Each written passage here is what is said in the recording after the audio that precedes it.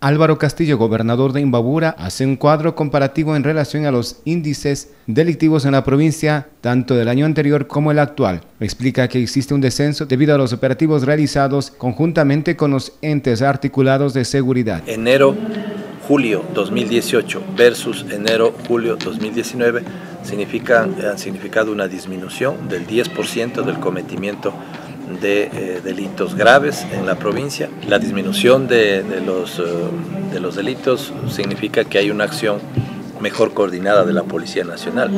Anota además una mayor presencia de extranjeros, que poco a poco el gobierno va normando a fin de evitar conflictos sociales mayores. El tema de la migración eh, es un problema.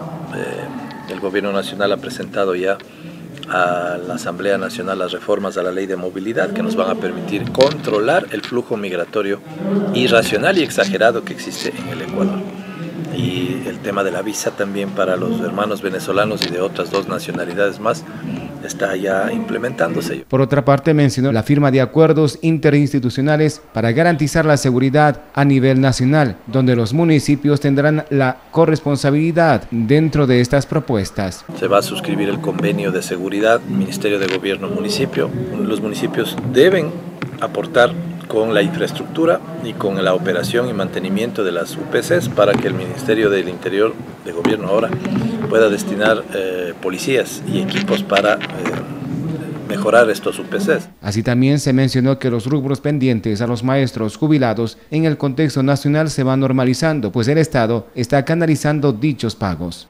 En el gobierno del presidente Lenín Moreno se han pagado eh, al 50% de los jubilados, 12.700 en efectivo y desde el primero de agosto se empezó a pagar en bonos del Estado y hay como 500 uh, pagados y hay una proyección de 2.700 uh, jubilados en efectivo en el 2019 y 4.700 jubilados en bonos del Estado también.